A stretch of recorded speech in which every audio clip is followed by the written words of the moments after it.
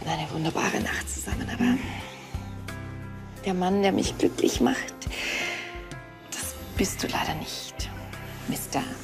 ehemalige Nummer 342 der Weltrangliste. Hm? Entschuldigung, ihr zwei.